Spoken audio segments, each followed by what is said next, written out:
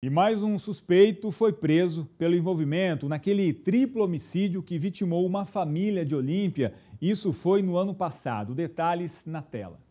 O homem de 39 anos foi preso em uma propriedade rural em Pedranópolis, próximo a Votuporanga. O nome dele já vinha figurando na lista de suspeitos, né, na nossa investigação, e foi corroborada depois da, da prisão do primeiro suspeito, né, que apontou ele como um dos autores do crime. Ele estava programando a, a fuga dele, né, para o estado de Minas Gerais, é, hoje pela madrugada, né, por volta das 5 horas da manhã, ele iria se deslocar para lá para tentar se, se ocultar das investigações. Ao ser interrogado, o homem negou participação no crime. Ele passou por audiência de custódia e foi encaminhado para a cadeia pública de Catanduva. A polícia ainda não pode dar detalhes da participação de cada suspeito no crime que aconteceu no dia 28 de dezembro no ano passado.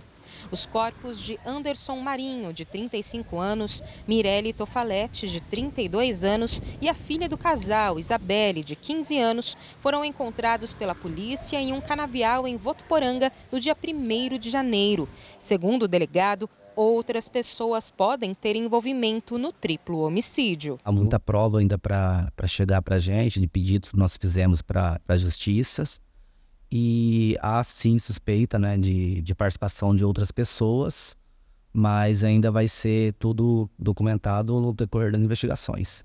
É, muitos detalhes ainda sobre esse caso e a gente, claro, que segue acompanhando o decorrer das investigações.